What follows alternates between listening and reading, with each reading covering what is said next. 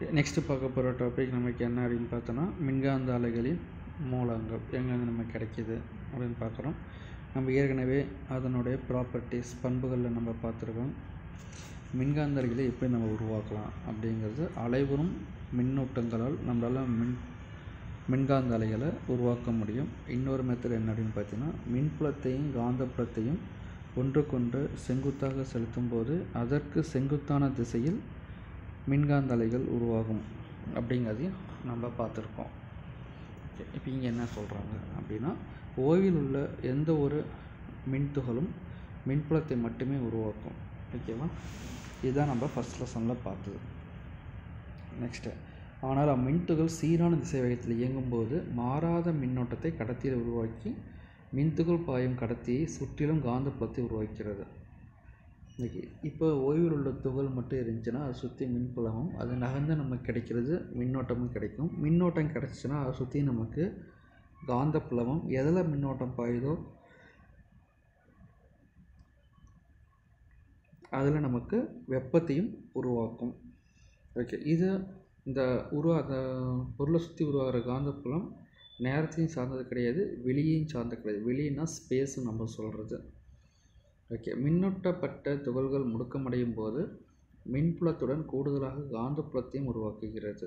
முடுக்கமடையும் போது. மின்னூட்டம் பட்ட துகள் முடுக்கம்னா மேலே கீழே அதிர்வடையுது இல்லை வேகத்தில் மாறுபாடு அடையுது அந்த மாதிரி முடுக்கமடையும் போது மின்புலத்துடன் கூடுதல் காந்தப்புலத்தையும் உருவாக்குகிறது. மின்புலம் மற்றும் காந்தப்புலம் இவ்விரண்டு புலங்களுக்கும் நேரத்தை பொறுத்து மாற்ற முடியும் புலங்களாகும். மின்காந்த அலைகள் குறுக்கலைகளாகும். ஓகேவா? மின்காந்த அலைகள் குறுக்கலைகள் குருக்கலை அப்படின்னு நிரூபிக்கிறதுக்கு நமக்கு ஒரே ஒரு ஆய்வு என்னென்னு பார்த்தீங்கன்னா தலைவிளைவுங்கிற ஆய்வு மட்டும்தான் ஒரு அலைங்கிறது குறுக்கலை அப்படிங்கிறத நிரூபிக்க முடியும். எனவே மின்புலம் மற்றும் காந்தப்புலம் உள்ள தளங்களுக்கு செங்குத்தாக உள்ள திசையில் மின்காந்த அலை பரவும். ஓகே இதை நம்ம ஏற்கனவே பார்த்தோம். நெக்ஸ்ட்டு எந்த ஒரு அலைவு இயக்கமும் முடக்கப்பட்ட இயக்கமாக இருக்கும். எந்த ஒரு நீ தனி ஊசல் எடுத்துகிட்டு அலைவுனாலும் அது நம்ம முடுக்கப்பட்ட இயக்கம் தான். தானாக ஒரு பொருள் நகராது. முடுக்கி விட்டால் மட்டும்தான் அந்த பொருளானது நகரும். இடப்பெயர்வு அடையும். டயக்ராம் இந்த டயக்ராம் தந்திருக்காங்க. இந்த டயக்ராமை பாரு. மூலம் நமக்கு தந்திருக்காங்க. அதாவது நமக்கு ரிசீவர் மாதிரி நமக்கு இருக்கிறது. இதுதான் நமக்கு மூலம் அப்படின்னு நம்ம சொல்கிறது இதிலேருந்து நமக்கு மின்புலம் செலுத்துது. காந்தப்புலம் நமக்கு கிடைக்கிது. ஓகேவா? இங்கே நமக்கு துகள்கள் அதிர்வுறுது இப்படி அதிர்வுறும் போது இந்த திசையில் எனக்கு கிடைக்கிறது? அதாவது இப்போதிலே ப்ளூ கலரில் இது நமக்கு காந்த புலம். ஓகேவா? அப்போ இந்த திசையில் அதிர்வுறுது அதாவது எக்ஸ் திசையில் அதிர்வுறுந்துச்சுன்னா ஒய் திசையில் காந்தப்புலமும் இது ரெண்டுக்கும் செங்குத்தான திசை. அதாவது இசட் திசையில் நமக்கு மின்காந்த அலைகள் நமக்கு உருவாகும். இதுதான் இந்த டயக்ராமுக்கான விளக்கம். ஓகேவா?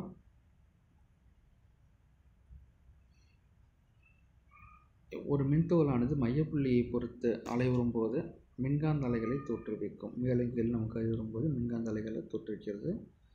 ஓகே. வெற்றிடத்தில் மின்காந்த அலை பரவும் திசை இசட் அச்சு எனவும் இதை நாமளே இப்போ எடுத்துக்கிறோம். இச மின்காந்த அலை பரவும் திசை இசட் அச்சு எனவும் அதன் மின்புல வெக்டரின் திசை எக்ஸ் அச்சு எனவும் கொண்டால் காந்தப்புல வெக்டரின் திசை என்னவாக இருக்கும் அப்படின்னு பார்த்தீங்கன்னா ஒய் அச்சாக இருக்கும். ஓகேவா? நமக்கு அதுக்கான ஈக்குவேஷன் இப்போ எக்ஸ் அச்சில் மின்புலமும் ஒய் அச்சில் காந்தப்புலம் பாயுது. மின்புலத்துக்கான குறியீடை நம்ம யூஸ் பண்ணுறது என்னங்கிறது நம்ம ஏற்கனவே பார்த்தோம். மின்புலத்துக்கு e ஈங்கிற குறியீடும் காந்தப்புலத்துக்கு பிங்கிற குறியீடும். மின்புலம் எக்ஸ் அச்சு திசையிலும் காந்தப்புலம் ஒய்ஹெச் திசையிலையும் பரவுது. அப்போ இதுக்கான ஃபார்முலா காலத்தை பொறுத்து மாறுதுன்னு நம்ம சொல்லிட்டோம். அப்போ இது நமக்கு மாதிசை மின்னியக்கு இசை மாதிசை மின்னியக்கு இசையால் மின்னோட்டம். அதனால் காந்தப்புலம் அப்போ அதுக்கு பொதுவான formula E x equal to E naught sine omega t அப்படின்னு யூஸ் பண்ணுவோம். இங்கே ஒரு குறிப்பிட்ட கோண வேறுபாடு இருக்கிறதுனால கேஇசட் மைனஸ் ஒமேகா டி அதே போல் கீழேயும் அதே கோண வேறுபாடு கேஇசட் மைனஸ் ஒமேகா டி அப்போ இது நமக்கு காந்தப்புலத்தை குறிக்குது. அப்போ இ நாட்டும் பி நாட்டும் பெருமத்தை நம்ம குறிக்குது. பெரும மின்னியக்கு விசை அல்லது பெரும மீன்புலம் கீழே பெரும காந்தப்புலம். இதில் இ நாட் பி நாட்டுங்கிறது பெருமை நம்ம சொன்னோம். Okay E naught B naught என்பது முறையே அலைவுறும் மின்புலம் மற்றும் காந்த வீச்சின் வீச்சுகள். வீச்சுங்கன்னா பெருமம் அதாவது ஒரு பெண்டுலம் எப்படி இருக்குது அப்படின்னா தனி ஊசல். இது போ ஒரு சைடு போகிற பெரும தூரம் தான் வீச்சு நம்ம படிச்சிருக்கோம் ஏற்கனவே லெவன்த்தில் அதான் பெருமம் அப்படின்னு நம்ம சொல்கிறது okay E naught B naught என்பது முறையே அலைவரும் மின்புலம் மற்றும் காந்தப்புலங்களின் வீச்சுகள். அதே போல் கேங்கிறது நமக்கு என்ன அப்படின்னு பார்த்தீங்கன்னா அலை எண். அலை எண்ணுங்கிறது நமக்கு என்னன்னு பார்த்தோன்னா ஓரலகு நீளத்தில் உள்ள அலைகளின் எண்ணிக்கை அலையெண் அதை நம்ம சிம்பிளோட சொல்லுவோம். K equal to one by லேம்டான்னு சொல்லுவோம். இது ஒரு ஃபார்முலா ஓரலகு நீளத்தில் உள்ள அலைகளின் எண்ணிக்கை அலையெண் எனப்படும். இது கொஞ்சம் ஞாபகம் வச்சுக்கோ நம்ம கொன்மார்க்கில் அதை கேட்பாங்க. தென் ஒமேகா என்பது கோண அதிர்வெண் மற்றும் கே கேப் என்பது ஓரலகு வெக்டார் தெரிஞ்சது தான் கே கேப் யூஸ் பண்ணல யூஸ் பண்ணலாம். ஓகே இதற்கு பரவ வெக்டார் என்று பெயர். மின்காந்த அலையின் பரவும் திசை இது காட்டுது. ஓகே மின்புலம் மற்றும் காந்தப்புலம் இரண்டும் ஒரு குறிப்பிட்ட அதிர்வெண்ணில் அதிர்வகின்றன ஓகேவா அந்த அதிர்வெண் தான் மின்காந்த அலையின் அதிர்வெண். மின்புலமும் காந்தப்புலமும் எந்த அதிர்வெண்ணில் அதிர்வுறதோ அந்த அதிர்வெண் தான் மின்காந்த அலையினுடைய அதிர்வெண். அப்படின்னு அமைச்சுக்கோ அந்த அதிர்வெண் மின்காந்த அலையின் மூலத்தின் அதிர்வெண்ணுக்கு சமமாகும்.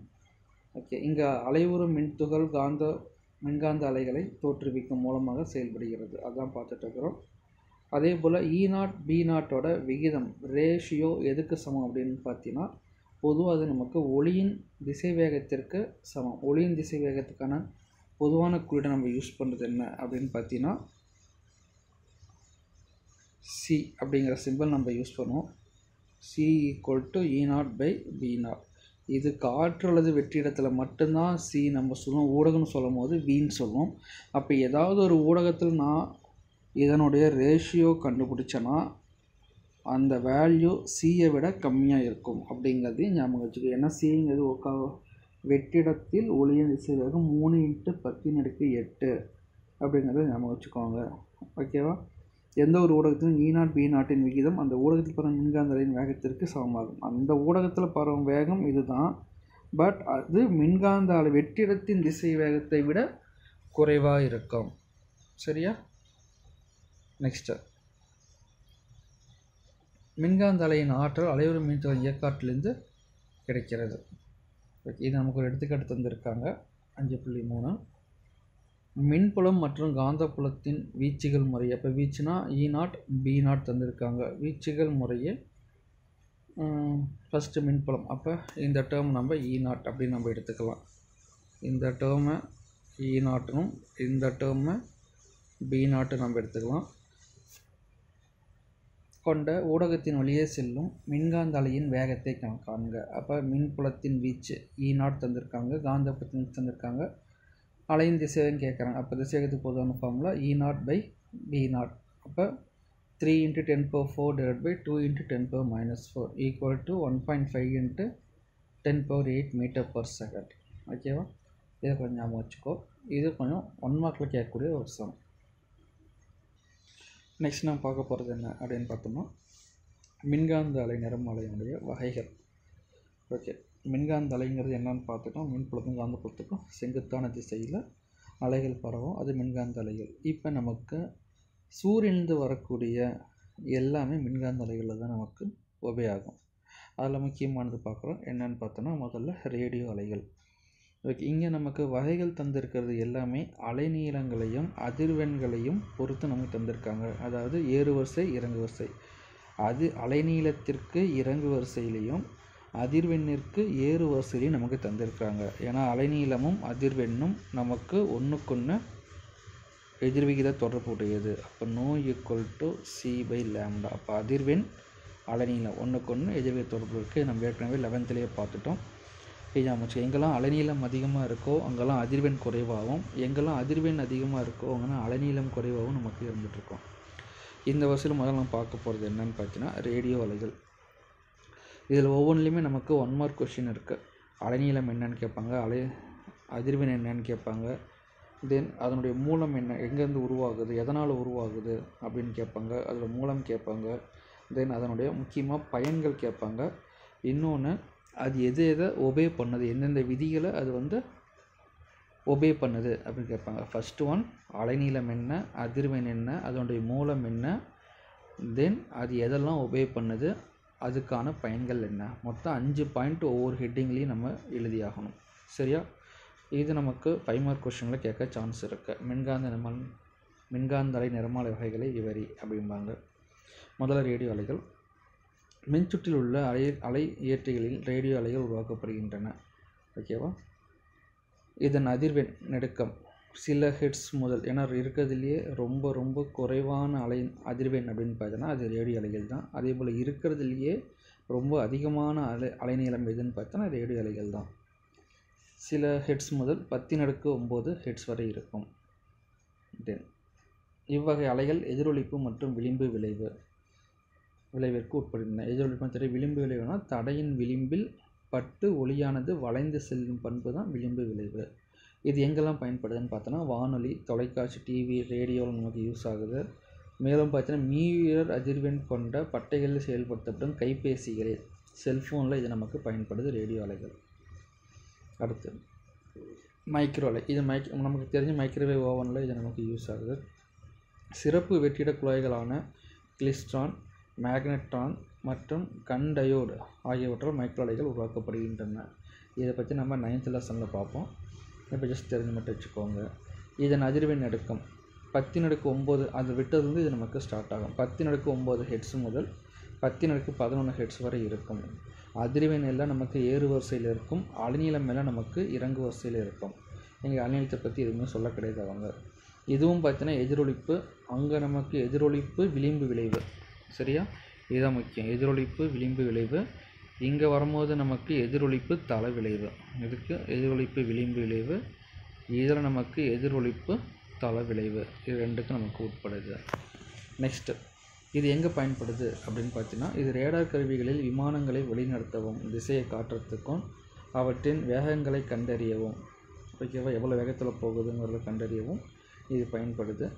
மைக்ரோலை சமையலுக்கு நல்லா பயன்படுது. உள்ள ஹீட்டை ப்ரொடியூஸ் பண்ணுறதுக்கு மேலும் செயற்கைக்கோள் வழியே நடைபெறும் நீண்ட தூர கம்பியில்லா செய்தி தொடர்புக்கும் சேட்டலைட் செல்ஃபோன் அதுக்கு நமக்கு இது யூஸ் ஆகுது நெக்ஸ்ட்டு அகச்சிவப்பு கதிர்கள். இதை நம்ம ஐஎஃப் இன்ஃப்ராரெட் அப்படின்னு நம்ம சொல்லுவோம். ஐஎஃப் ரேஸ் அகச்சிவப்பு கதிர்கள். வெப்ப மூலங்களினால் அகச்சிவப்பு கதிர்வீச்சு உருவாக்கப்படுகிறது. ஓகேவா? எந்த ஒரு பொருளை வெப்பப்படுத்தினாலும் ஏன் நம்ம உடம்பே ஹீட்டான பாடியாக இருக்குது அப்படின்னா நம்ம உடம்புல நிறையா ஹாலிவுட் மூவிஸில் பார்த்துருப்போம். புகையை போட்டுருவாங்க. நம்ம அவங்க ஒரு ரெட் கலர் கிளாஸ் போடுவாங்க. அங்கே இருக்க உருவமெல்லாம் நமக்கு ரெட் கலரில் தெரிய ஆரம்பிக்கும். அந்த ரெட் கலரில் தெரிகிறது எல்லாமே நம்ம உடம்புல வந்து இன்ஃப்ராரெட் வெளியேறிட்டே இருக்குது அதனால தான் அங்கே நமக்கு ரெட் கலரில் தெரியும். ஓகேவா? தென் இதனுடைய அதிர்வெண் பத்து நடுக்கு பதினொன்று ஹெட்ஸ் முதல் நாலு இன்ட்டு பத்து நடுக்கு பதினாலு ஹெட்ஸ் வரை காணப்படும். இது எங்கெல்லாம் நமக்கு யூஸ் ஆகுது? இது சூரிய மின்னல் வடிவில் செயற்கைக்கோளுக்கு ஆற்றலை அளிக்கிறது. அகச்சிவப்பு கதிர்களை கொண்டு பழங்களில் உள்ள நீரினை நீக்கி உலர் பழங்களை உருவாக்குகின்றன. இது நிறைய ஃபேக்ட்ரியில் நம்ம யூஸ் பண்ணுவோம். ட்ரை ஃப்ரூட்ஸ் தயாரிக்கிறதுக்கு. ஓகேவா பசுமை இல்லங்களில் வெப்ப காப்பானாக இது பயன்படுகிறதுனா இது எல்லா ஹீட்டையும் அப்சர்வ் பண்ணிவிட்டு அப்படியே அடுத்த சைடுக்கு ஹீட்டை தராது. தசையில் ஏற்படும் வலி மற்றும் சுளுக்கினை சரி செய்ய வெப்ப மருத்துவ சிகிச்சையில் இது பயன்படுகிறது. ஓகேவா? தொலைக்காட்சி பெட்டியில் இது பயன்படும். இன்ஃப்ராரெட் எங்கே இன்ஃப்ராரெட்னு பார்த்தீங்கன்னா தொலைக்காட்சி பெட்டியில் பயன்படும் ரிமோட் அந்த ரிமோட்டில் நம்ம யூஸ் பண்ணுவோம். தொலை கட்டுப்பாட்டுக்கு உணர்வியல். அது பேர் ரிமோட்டை நம்ம சொல்லுவோம். ரிமோட்டில் டிவிக்கும் ரிமோட்டுக்கும் கனெக்ட் ஆகிற கனெக்ஷன் எதுன்னு பார்த்தோன்னா அந்த இன்ஃப்ராரெட்டு தான். அடுத்து மங்கலான மூடு பணியில் அதை நம்ம மூடு பனி நம்ம மிஸ்ட்டுன்னு நம்ம சொல்லுவோம். அந்த மூடு பனியில் பார்த்தீங்கன்னா உருவம் இருக்கிறதே நமக்கு தெரியாது. அந்த உருவத்தை நம்ம ஃபோட்டோ எடுக்கிறதுக்கு இதை நம்ம யூஸ் பண்ணிப்போம். இரவு நேரங்களில் பார்ப்பதற்கும் அகச்சிவப்பு புகைப்படம் எடுக்கவும் அகச்சிவப்பு ரேடியோ பயன்படுகிறது. அடுத்து பார்த்தீங்கன்னா கண்ணூர் ஒளி. நம்ம பார்க்கக்கூடிய ஒளி எல்லாமே கண்ணூர் ஒளின்னு தான் நம்ம சொல்லுவோம். வெண்தல் நிலையில் உள்ள பொருள்களிலிருந்து கண்ணூர் ஒளி கிடைக்கிறது. மேலும் வாயுக்களில் உள்ள கிளர்ச்சியுற்ற அணுக்கள் அணுக்களும் கண்ணூர் ஒளியை உமிழ்கின்றன. ஓகேவா நம்ம கண்ணை தெரிஞ்சது எல்லாமே கண்ணூர் ஒளி தான் இதன் அதிர்வெண் எடுக்கும் நாலு இன்ட்டு பத்து பதினாலு ஹெட்ஸ் முதல் எட்டு இன்ட்டு பத்தனுக்கு பதினாலு ஹெட்ஸ் வரை காணப்படும். இது நமக்கு எது எதை நிரூபிக்குது அப்படின்னு பார்த்தீங்கன்னா எது எதுக்கும் உபயோகாகுது என்னது விதிகளுக்கு உட்படுதுன்னு பார்த்தோம்னா எதிரொலிப்பு ஒளி விலகல் குறுக்கீட்டு விளைவு விளிம்பு விளைவு தலை விளைவு ஒளிமின் விளைவு விதிகளுக்கு உட்படுகிறது. மேலும் புகைப்படம் எடுப்பதிலும் பயன்படுகிறது. மூலக்கூறு அமைப்பை ஆராயவும் அணுக்களின் வெளிக்கூட்டில் எலக்ட்ரான் அமைப்பை ஆராயவும் கண்களுக்கு பார்வை உணர்வு அளிக்கவும் கண்ணூர் ஒளி பயன்படுகிறது. இது நமக்கு தெரிஞ்சது தான் அடுத்து பார்க்க போகிறது யூவி ரேடியேஷன் புற ஊதா கதிர்கள். இது நமக்கு இதனுடைய அதிர்வெண் பார்த்தீங்கன்னா எட்டு இன்ட்டு பத்து நடுக்கு பதினாலு ஹெட்ஸ் முதல் பத்து நடுக்கு பதினேழு ஹெட்ஸ் வரை காணப்படும். இது ஊடுருவும் திறன் விசிபிள் லைட்டை விட நமக்கு இதுக்கு கம்மி. ஊடுருவும் திறன் சாரி விசிபிள் லைட்டை விட அதிகம். முன்னாடி பார்த்தோம்ல கண்ணூர் ஒளி அதை விட இது நமக்கு அதிகம். புறவுத கதிர்கள் ஆனால் பொதுவாக பார்த்தீங்கன்னா இது நம்ம குறைவு அப்படின்னு நம்ம சொல்லுவோம். கண்ணூர் ஒளி எங்கேயுமே உள்ளே பூந்து வெளியில் வர்றதுனா கிடையாது. இதுக்கு ஊடுருந்தன் குறைவு. புறவுத கதிர்கள் வளிமண்டலத்தில் உள்ள ஓசோன் படலத்தை உட்கவரப்படும். ஏன்னா நமக்கு நல்லாவே தெரியும். வெப்பத்தை சன் சன்லைட்லேருந்து நமக்கு யூவி ரேடியேஷன் வெளியில் வரும். அந்த யூவியை அப்சர்வ் பண்ணக்கூடியதுன்னு பார்த்தீங்கன்னா ஓசோன் படல் தான். அது அப்சர்வ் பண்ணாமல் விட்டு நம்ம உடம்புல நேரடியாக பட்டுச்சுன்னா தேவையில்லாத நோய்கள் நமக்கு உருவாக ஆரம்பிக்கும். அதே நேரத்தில் மனித உடலுக்கு தீமை தரக்கூடியதாகும். பாக்டீரியாக்களை கொள்வதற்கும் அறுவை சிகிச்சை கருவிகளில் பயன்படுது கருவிகளில் நோய்க்கிருமிகளை நீக்குவதற்கும் நீக்குவதற்கும் திருடர் அறிவிப்பு முனையிலும் மறைந்துள்ள எழுத்துக்களை கண்டுணர்வும் விரல் ரேகைகளை கண்டறியவும் மேலும் மூலக்கூறு அமைப்பை கண்டறிய பயன்படுகிறது. இது ரொம்ப முக்கியமானது. எது எதுன்னு பார்த்தோன்னா இன்ஃப்ராரெட்டோட பயன்பாடும் அல்ட்ரா வயலட்டுக்கான பயன்பாடும் ரொம்ப முக்கியம். டூ மார்க் கொஷினில் அடுத்து எக்ஸ் கதிர்கள்.